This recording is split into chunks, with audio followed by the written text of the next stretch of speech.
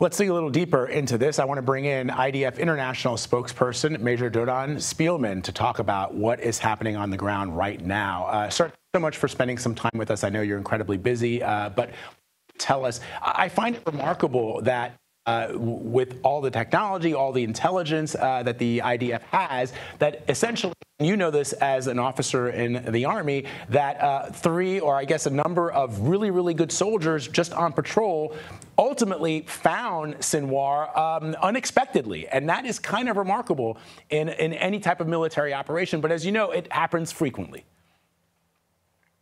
Uh, thank you for having me, Vlad. I, you know, I think that you know Sinwar didn't fall from the sky. Uh, that would have been a great stroke of good luck.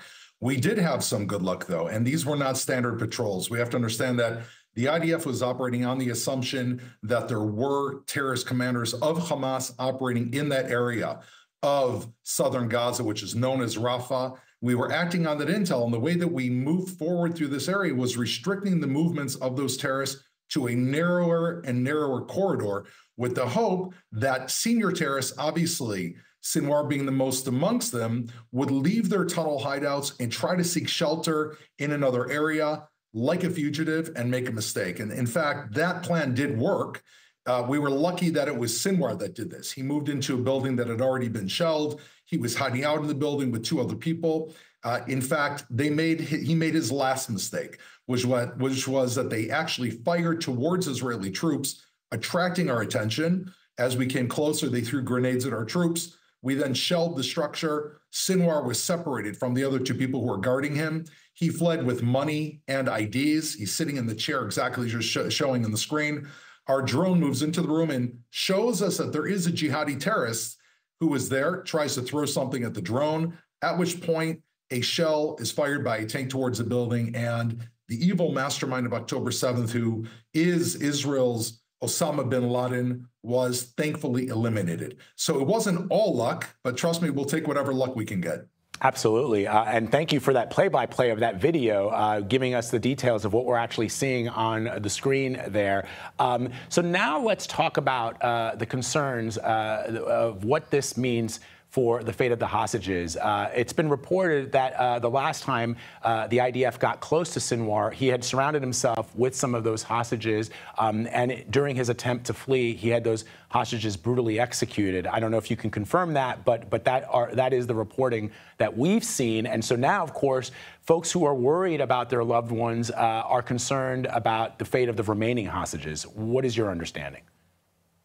First of all, uh, all of us are not only concerned, we're torn apart personally by these sausages. Just to put this in perspective, Israel is a country the size of New Jersey. It's a total population of 10 million people.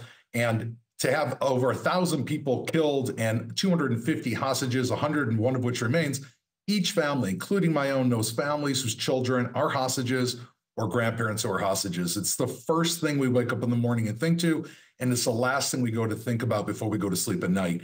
It's an incredibly difficult situation. We understand at its very core, Sinwar and Hamas took those hostages to use them as a bargaining chip. They are the last bargaining chip that they're going to use. They could care less about the lives of these hostages, and there's no goodwill here whatsoever. We, along this campaign, have been operating surgically to try and rescue our hostages. We've managed a few times. However, the key to this very well may be what happened last night with the toppling of Sinwar and all of his terror operatives seeing the head of that organization fall, it disables that organization. It causes it a shake to be a shakeup. And as the prime minister said, as President Biden said and Kamala Harris, there could be an opportunity here. We're able to move this to the next level. We want to bring our people home, but we cannot give Hamas a pass. There can be no ceasefire that enables that terror entity survive in Gaza. If that happens, the next round of hostages is just waiting around the corner. Um, let me ask you about this, Major. The IDF, as you know, is obviously continuing its operations in, in Gaza, but but so people will look at this, and it's not just Yahya Sinwar that you've been able to take out. You've taken out many, including predecessor leaders of, of this organization um, and others do you feel that you're achieving your objectives, your military objectives? I know the ultimate objective is to bring those hostages home and to destroy Hamas, but how do you feel you are along the path, the military as a whole? So, first of all, we have to understand we're facing an enemy, which is Iran, the largest sponsor of state terrorism in the world. We are being attacked on seven fronts by Iran. And if Iran thinks that Israel's vulnerable, like they felt on October 7th, that's when they launched their terror entities against us. What have we shown? And this is in direct answer to your question. We have eliminated now Hassan Nasrallah, Yahya Sinwar, Muhammad Deif, which is his number two, and Ismail Haniya, the previous head of Hamas that was in Beirut, along with hundreds of other Hamas leaders. And the message is very clear, and this is an important military message. Wherever you are, if you think you're going to threaten Israel, you might run, you might try to hide, hide even behind your own innocent civilians or in tunnels. Eventually, we will find you and you will face justice. That is an important message to terrorists or to anyone thinking about being a terrorist. That should dissuade them from entering into this foray. At the same time, we have made phenomenal military progress. Our troops have moved forward through Gaza, eliminated much of Hamas, but we are not at the day after until we can reach the day before the day after, which is the complete dismemberment of that military organization.